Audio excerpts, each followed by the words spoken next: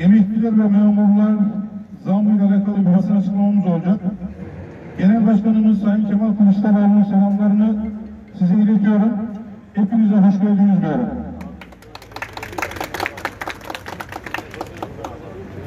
Çalışanlarımızdan ve emeklerimizden çalınan her bir kuruşu yerine koyacağız.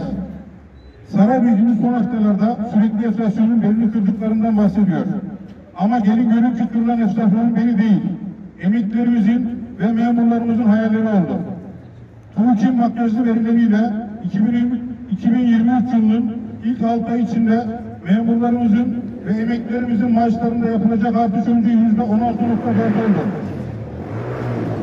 Ardından 3 Ocak Salı günü memurun ve emeklinin hakkı değilmiş ve AKP Genel Başkanı'nın unutulmuş gibi artış oranı yüzde 25 olarak açıklandı. Genel Başkanımız Kemal Kılıçdaroğlu siz sadaka mı veriyorsunuz? Bu yetmez.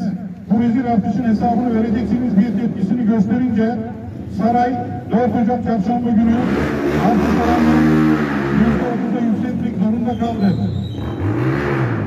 Genel Başkanımızın çağrısıyla artış oranı yüzde otuza yükseltildi. Memur ve emeklerimiz ya Kemal Bey olmasaydı dedi.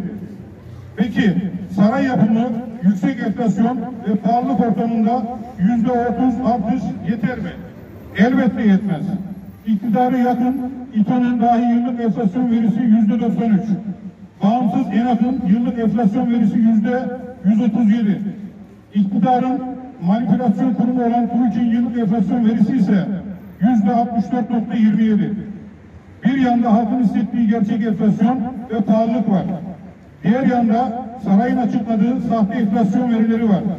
Saray milyonlarca memuru ve emekliyi işte bu sahte Türk enflasyon oranında artışa mahkum etmiştir. Saray talimatıyla yönettiği TÜİK'in verileriyle memurunuzun ve emeklimizin sofrasındaki her bir lokmayı adeta gasp etmiştir. Yüzde otuzluk sefalet artışının 15.40 puanı yani yarısından fazlası TÜİK'in makyajlı 6 aylık enflasyon verisinden oluşmaktadır. Erdoğan'ın sadaka verircesine yaptığı müjde olarak sunmaya çalıştığı artış ise bu oranı ikiye dahi katlamamıştır. Tüm çalışanlarımızın ve emeklerimizin tarafından bir kez daha bilinmesini istiyoruz. Ülkenin hazinesinden faizleri tefecilere her ay 10 milyarlarca lira aktararak saray iktidarının çalışanlarımızın ve emeklerimize reva gördüğü artış, artış oranı yüzde 14.6'dan ibarettir. Saray AK Parti haline getirdiği TÜİK'in kullanarak adım adım tüm ücretleri asgari ücret seviyesine getirmiştir. Saray düzeni tüm toplumu yoksullukla buluşturmaktadır. 2015 yılında ortalama memur aylığı asgari ücretin 2.44 katıydı. 2023 yılı ortalama memur aylığı ise %30 zamla asgari ücretin 1.43 katı kadar gerilemiştir. Öyle ağır bir tablo söz konusu ki Türkiye 13.9 milyon emekli ve dul yetimin 8 milyonuna yakınını asgari ücretin altında aylık almaktadır. SGK'nın son verilerine göre ülkemizde 4 milyon 84 bin dul yetim aylığı alan vatandaşlarımız bulunuyor. Dul ve yetimlerimiz kimisi aylık 800 TL, kimisi aylık 1000 TL ile, kimisi ise 1500 TL ile geçinmek zorunda kalıyor. İşte bu sefaret düzenine Erdoğan utanmadan en düşük emekli aylığının 5500 TL olacağını açıkladı. Sayın Genel Başkanımızın çağrıları olmasa bu artış dahi gerçekleşmeyecekti. En düşük emekli aylığı alanlar yine haklı olarak ya Kemal Obey olmasaydı ne olur diye sordu. 5500 TL ile bir ayda kim geçinebilir? Tabii ki hiç kimse. AKP Genel Başkanı sanırım analık itibariyle 8130 TL olduğu ülkemizde 5500 TL emekli aylığı vermekle övünüyor. Partimizin en düşük emekli aylığının asgari ücret seviyesine çekilmesi teklifini ise reddediyor. Neden? Çünkü saray ülkenin kaynaklarını, hazinesini kimi 3, kimi 4, kimi ise 5 maaş alan danışmanlarına, faiz lobilerine, beşli çeteye, bağlı müteahhitlere aktarıyor. Tercihini emekliden, memurdan, işçiden yana değil, bir avuç yandaştan yana kullanıyor.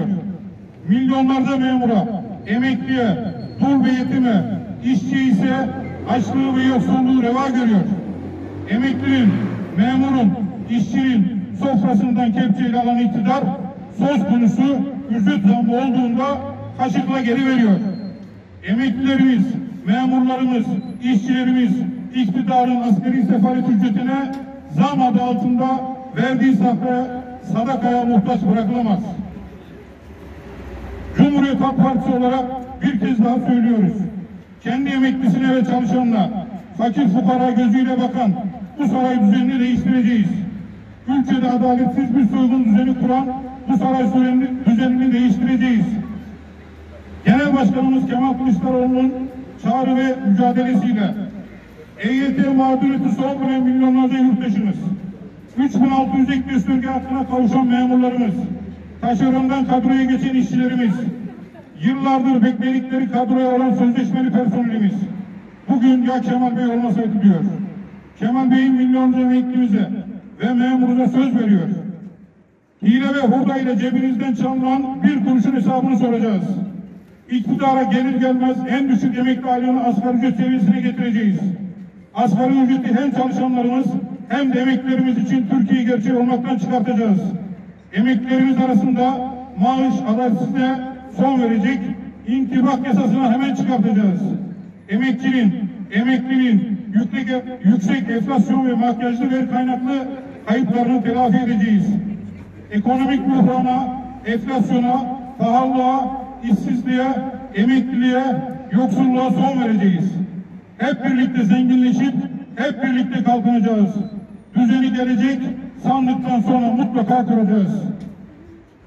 Bütün Çankırılar adına herkese çok teşekkür ediyorum. Saygılar.